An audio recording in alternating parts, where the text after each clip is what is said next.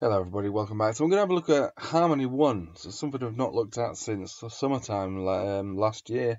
Did a little bit of trading on it actually, did some decent uh, uh, decent trades, especially bot trades. I remember we bought into this when it was 22 sat, so uh, even at this stage now, it's still up considerably since then, um, but I've not really looked into it. Uh, for a while, really. Um, so th there's some good things about it, but first we're going to have a quick look at Bitcoin, just very brief overview, because you can't really often trade any kind of altcoins without understanding or, or at least anticipating what Bitcoin's going to do. And we're still in this descending wedge formation, which is a bullish formation once it gets resolved, but for the moment we're still within it. Yesterday we did, I suppose, peak our little head just above it, but there was no volume on it and no conviction of it. So um, it's it's come back within the formation. So within this formation, so we've got this blue descending wedge uh, pattern you can see there, which is bullish when it's resolved. Hopefully it'll resolve to the up. Most of the time they do, and it, it basically ends up being a breakout. Uh, but until then, it's descending, so it does mean lower prices are most likely. And we've got this green level of support around about 31,500 ish area, uh, which is the first level of support. And then below there, we've got the bottom level uh, where we uh, bottomed out, and also corresponds to these supports over here. And that's about 28, 29,000, give or take. So the way that this is moving, if we stay within the formation, then it would suggest that we definitely would come down to 31,400, 31,500, which is also the bottom of the Bollinger Band on the daily. If that breaks down, then yeah, the bottom side will also be tested and maybe a little bit lower over time as we are in a descending wedge formation. So I do favour more downside, but overall this formation should resolve with a breakout. But uh, we, we've been anticipating this, yeah, I suppose, accumulation, if, if that's what you want to call it, to take place over about three months as a minimum time frame.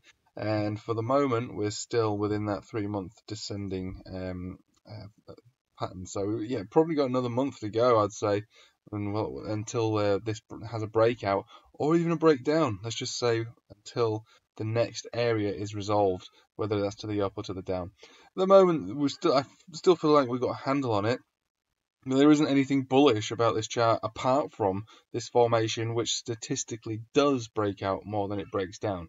But that doesn't mean that, you know, just because we're having lower prices that we're breaking down. We're still within our inside range for the moment and the outside range, and a breakdown of this overall price action uh, would mean closures below 28,000. That's what it would mean. So if we start seeing lower prices, it's not that the price is breaking down out of a specific formation. We're still in within this what I consider to be an accumulation for, uh, area. Um, so people might start panicking, going, "Oh, we're below 30,000. Oh my God!" Yeah, you can panic all you like. That's fine. Panic if we start to close below uh, 28,000. That's when we can have a little bit of panic. But also, you know, it's, it's worth pulling yourself back together again, saying, all right, fine, we're going to go into a lower range. That's all it's going to go into. It's going to go into a lower range and potentially um, a, a miniature bear market. So maybe the breakout might not be within a three month period from the start. Maybe it will take a six month period. Well, but we're not there yet, so we can only speculate. So let's have a look at Harmony One then. So something quite interesting about this chart is that this one reached its peak way before the breakdown of the crypto market. So there's a few altcoins that were like this. This is one of them. So the peak was over here and essentially been consolidating ever since. Now from the peak to the bottom, uh, and again bear in mind that the peak happened before the crash, all the way down to the bottom. There's a 78% retracement, quite a lot if you think about it. Uh, but a lot of other coins, EOS for one, um, more or less did a bigger move than that in the space of uh, about a week or two. So this one's held up quite well, consolidating before the collapse in May. The May, uh, crash, uh, I suppose if that's what we want to call it, took place, and then it did take us down further, and then we seem to have found our bottom level of support here. So I'm going to call it a bottom level of support, not a bottom, because we don't really know if that's the bottom or not. But the interesting thing is that we've broken out of this uh, descending um, trend line here, um, and sometimes when we see these formations like this, again, this is only a daily, there's no bullish signs on it right now, but when we see this, it, it might suggest that we're going to go into a period of accumulation um, from this zone.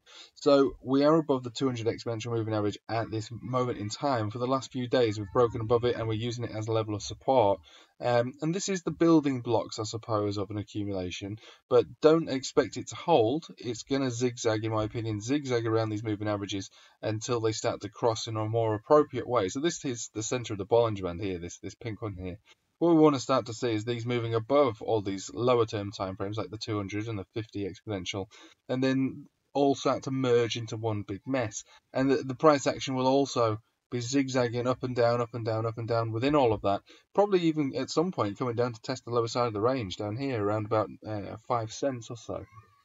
Now, if we try to anticipate where this is going to be resolved, it's going to be impossible uh, to give an exact figure on it because accumulations can take ages. They, they, can take as little as a week, they can take as much as oh, months, many months, you know, before it's resolved to the up, um, and and actually goes into a significant uptrend again.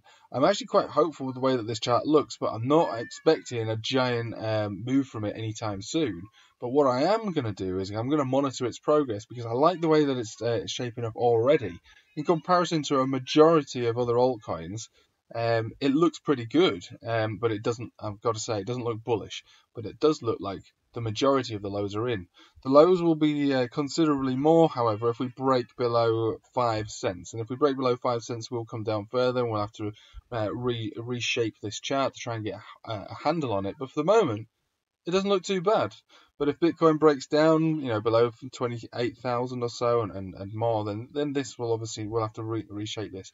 There's something interesting to note though is that, you know, back in uh, back in uh, a couple of years ago now, um, we were trading Matic quite a lot. And Matic and Harmony One are more or less the same thing, right? They all were launched roughly at the same time, more or less. They're all part of the Binance ICO or IEOs and uh, they used to trend together.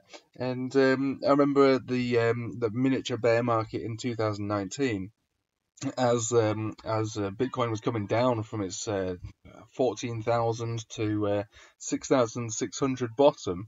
Um, we were we were able to trade Matic successfully on the back of its chart, given the chart its merits, recognizing that there were some bullish indications on it, and actually made a three, almost a four x trading Matic uh, while the market was in a bear market. So on occasion, some coins do offer significant uptrends despite the market doing the opposite thing. Now that's not a very common occurrence. That that you know we were quite lucky to to get in at the bottom of Matic based upon these signals and. Uh, and, and trade a, a three or a four x type trade within a month um, worth of price action while Bitcoin was consolidating all the way down to the bottom. So they were doing the opposite things.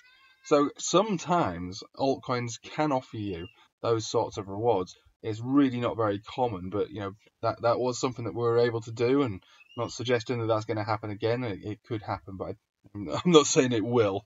Uh, but it's just worth noting that they can happen, and we did do those trades um, back in 2019 in a similar kind of environment to what's going on right now. So, um, so that's why I thought I'd pick up on this chart with the way that it looks. Not that it looks particularly bullish, but it does look a little bit different to a lot of other altcoins, uh, despite the market being so horrendous uh, at the moment and being so undecisive, uh, indecisive, indecisive.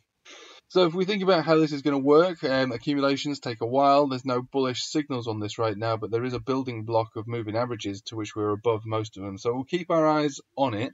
We're not going to get particularly excited about it.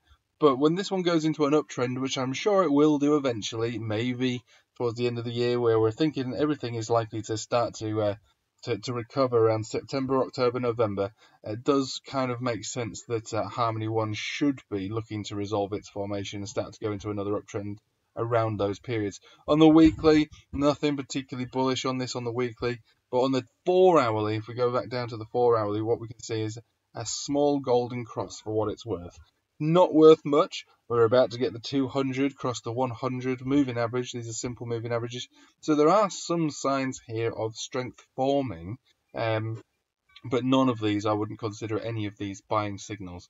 Uh, but they are looking quite promising as far as forming the building blocks for supports at higher levels. Anyway, I'm going to leave it with you there. Thank you for watching. I hope you have a nice day. Take it easy.